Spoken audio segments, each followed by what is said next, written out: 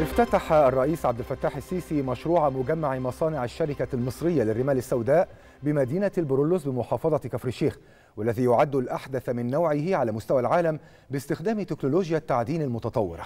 وخلال الافتتاح دعا الرئيس السيسي القطاع الخاص والشركات المحلية إلى المساهمة والاستثمار في المشروعات المتعلقة بتعظيم القيمة المضافة من الرمال السوداء. فكان السؤال بقوله وبسمعه لل للقطاع الخاص. من أول المشروع ده متاح يا دكتور مصطفى؟ أيوه. متاح لكم إن أنتوا تخشوا فيه؟ طبعا. اللي عايز يتفضل.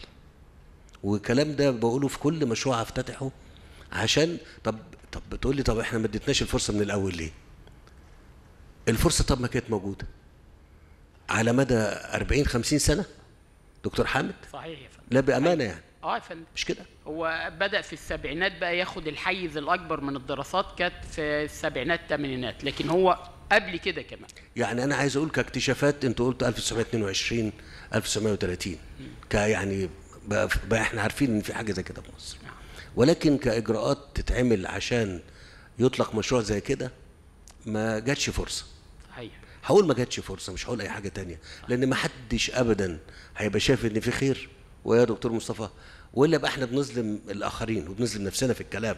لا أي حد في مصر مسؤول أي مكان موقعه هيبقى حريص على إن هو لو في مجال لخير هي إيه؟ هيعمله. فلكن ما حصلش ما جاتش فرصة. يعني بقول الفرصة جت بإيه؟ بإن في مسار إحنا آه نجحنا فيه دلوقتي وعرفنا تفاصيله وبقى في حاجة آه اتشكلت وخرجت للنور في المشروع ده.